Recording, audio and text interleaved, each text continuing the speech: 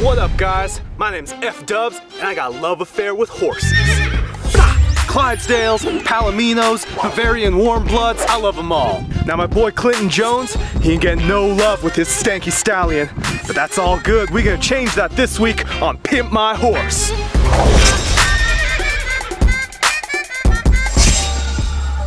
My name's Clint Jones. This is my horse Flip.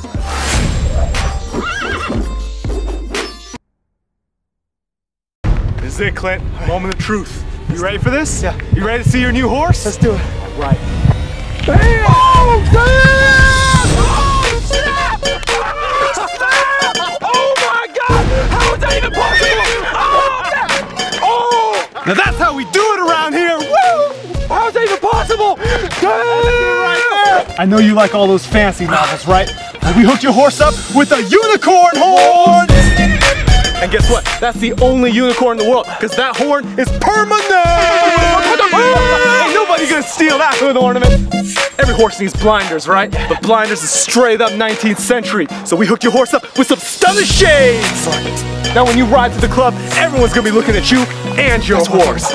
That's what I'm talking about. Now we were just gonna hook you up with some regular horseshoes, but I said, wait, I know my boy Clint. You know he would want some chrome spinners on that. I'll spin that, I'll spin that.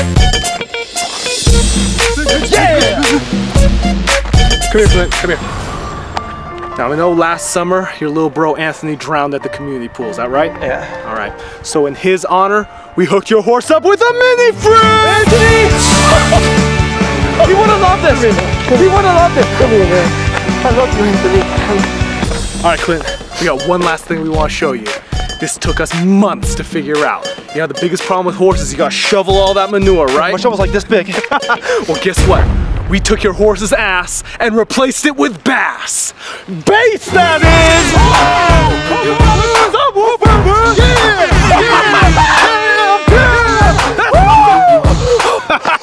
Yo, we did some good stuff this week, am I right, Clint?